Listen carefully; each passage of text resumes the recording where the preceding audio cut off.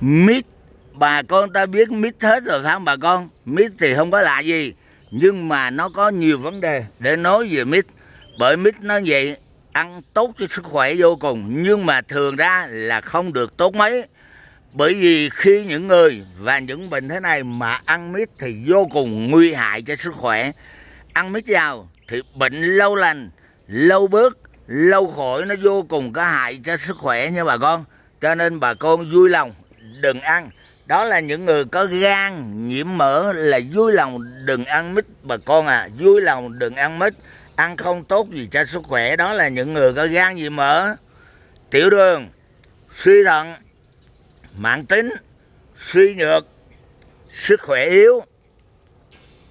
Tiểu đường là tuyệt đối tuyệt đối không ăn.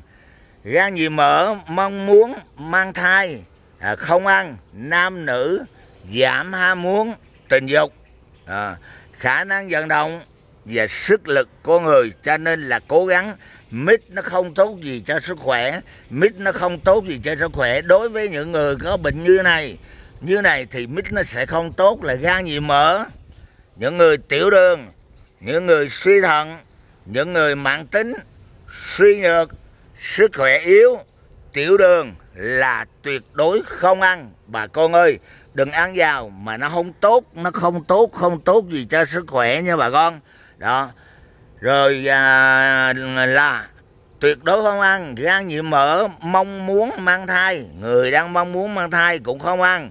À, nam nữ giảm ham muốn tình dục không ăn.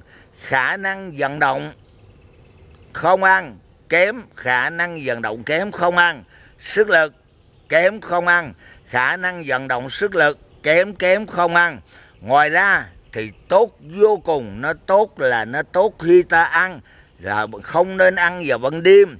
Mít ăn kèm với trái cây khác để không nổi mụn.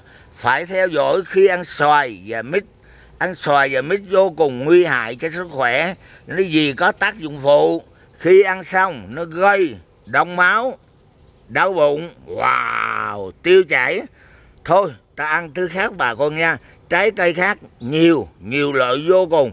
Chứ không ăn rắc rối quá mít rắc rối quá nó sẽ ảnh hưởng cho sức khỏe. Cho nên thấy mít như vậy nhưng mà ăn thì nó ảnh hưởng sức khỏe vô cùng. Mong rằng bà con ta thấy được thì tiếp tục ờ à, nhưng bà con bà con ta sẽ tiếp tục à, không ăn mít.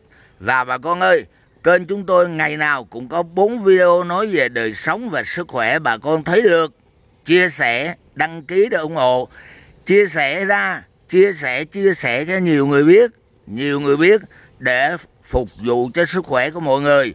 Bà con giúp đỡ như vậy là rất là tốt và đăng ký kênh để ủng hộ chúng tôi. Chân thành cảm ơn. Khi mà sức khỏe thì ta biết bệnh gì, không nên ăn gì, không nên uống gì. Trái cây gì, ai không nên ăn. Trái cây gì, ai không nên ăn.